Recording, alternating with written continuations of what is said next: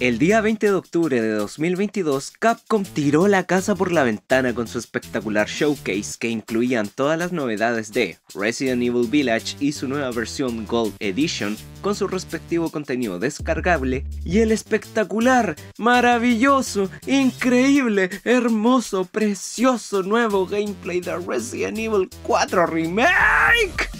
Así que, ¿qué tal amigos? Soy Brian y hoy vamos a detallar todo lo que vimos ayer en este espectacular evento que no ha hecho más que levantar el hype por estas entregas y especialmente por el remodelado clásico para nueva generación a cargo de Leon Scott Kennedy. Recuerda seguirme en Instagram y saldrás saludado en el siguiente video. Y suscríbete papu para que sigamos creciendo en esta linda comunidad. Entonces sin más que agregar, sean bienvenidos y enciendan sus consolas que vamos a comenzar.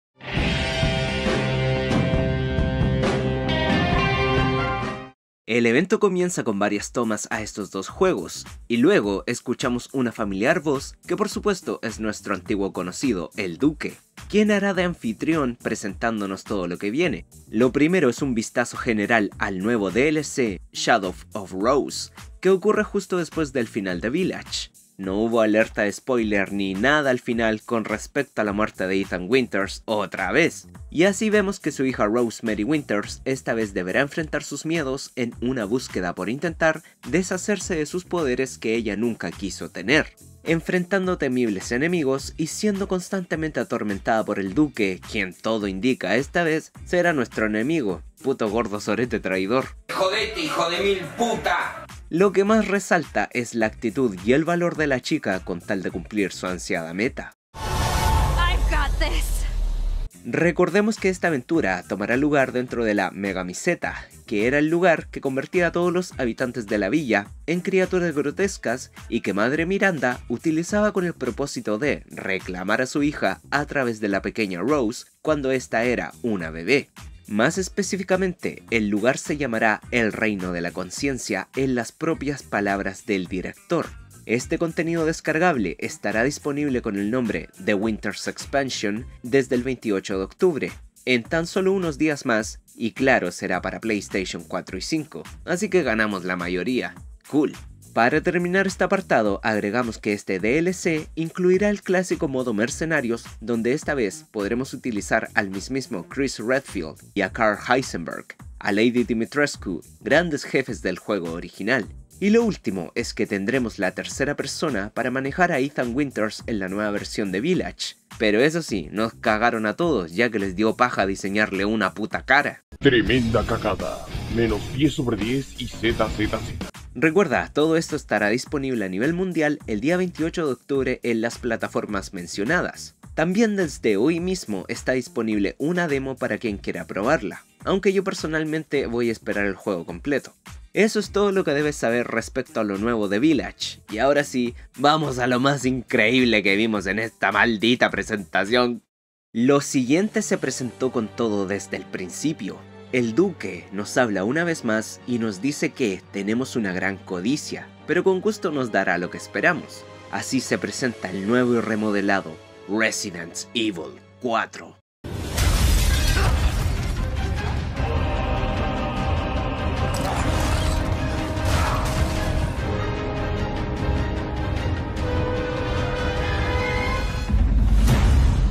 14 segundos y me impresionó como pocas cosas que he visto. Vamos a analizarlo por completo. Yoshiaki Hirabachi, productor de este juego, nos presenta todas las novedades. Él, por si no lo sabías, fue el director de cinemáticas del juego original. Bueno, el clip es así. Vemos a Leon entrando en la oscuridad del pueblo mientras escuchamos sonidos familiares de lo original, y él está enfocado en su búsqueda. Entramos a lo que parece será la primera casa del pueblo que ustedes recordarán bien, y carajo, remodelaron hasta el más pequeño rincón. Se ve completamente como un juego de nueva generación. Como novedad, ahora podremos manejar con una mano una linterna a nuestro gusto, en caminos como este, donde no podemos ver del todo, lo que está muy bien, mientras que con la otra, claro, sostenemos nuestra arma. Leon encuentra a uno de sus compañeros que lo transportaron a este lugar y no sabe qué está ocurriendo. Así pasamos a un gameplay maravilloso, en el que utilizamos al mismo tiempo la linterna y la pistola para apuntar. con este enemigo agarrando a Leon y mostrándonos la mecánica para liberarnos o utilizar el cuchillo. A su vez, tenemos por primera vez un vistazo al HUD que muestra la salud y la munición. Leon intenta salir de ahí y como buen detalle, ahora agregar mecánica de sigilo para pasar de algunos enemigos. ¡Espléndido! Al pasar a otro cuarto vemos como los ganados esta vez detallaron sus planes en una pared y hasta le sacaron una foto de forma sádica a la secuestrada Ashley.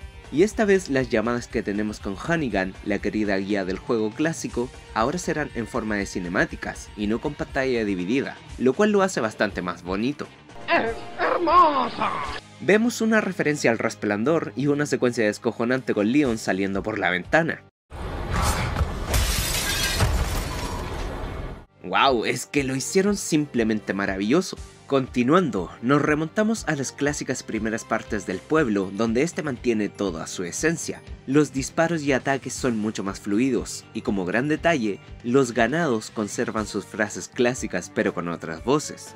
Podremos saltar más rápidamente de los techos en un intento de escapar de las hordas y los remodelados de los enemigos, así como especialmente el Doctor Salvador, están fabulosos no los puedo describir de mejor manera.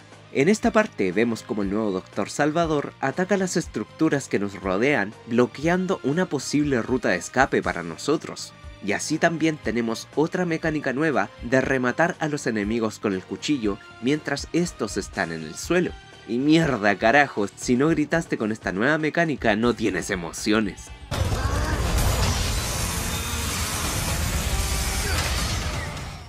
le hago un monumento a la persona que propuso que pudiéramos defendernos de la motosierra con nuestra pistola, en una secuencia tan simple pero espectacular.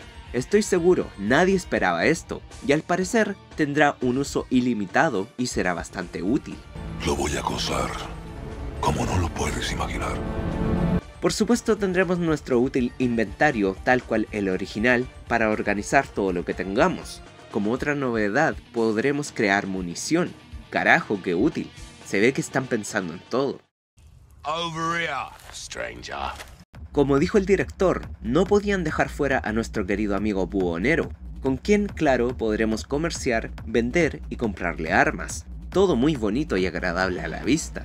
Se confirma que estará disponible para PlayStation 4 y 5, y que la edición deluxe digital incluirá el juego base, más contenidos descargables como skins para Leon, armas especiales, mapas de tesoros, filtros para la pantalla y accesorios como lentes de sol. Lo más bacán viene ahora y espero poder comprarme esta edición. La hermosa edición coleccionista en formato físico incluye el juego base, un precioso steelbook, los códigos para el contenido descargable que mencioné anteriormente, el soundtrack digital del juego, una preciosa figura de nuestro querido Leon muy detallada, un libro de arte que se ve grandioso, un póster con todo el mapa del juego y una caja que ven aquí. Las preórdenes comienzan desde hoy, incluido las físicas y digitales. Como consejo, verifica con tus tiendas de juegos locales, ya que no siempre están disponibles desde el mismo momento del anuncio. Ahora pasamos a lo último, un vistazo al último clip donde nos revelaron nuevos personajes y sus aspectos. Joder, hay bastante que decir aquí. Vemos el nuevo aspecto de Luis Cera que... Uh... ¿Cómo masacraron a mi muchacho? Uh, ¿Qué te hicieron, Luis? En realidad no se parece mucho al original, pero me, hay que aceptarlo. El alcalde Vitores Méndez que está haciendo un cosplay del Undertaker y con un colgante de los Iluminados, mucho más intimidante que el original. Nos muestran el primer encuentro entre Ashley y Leon en el que la chica no confía en él y hasta intenta atacarlo. Papacito Leon muestra todo su poder.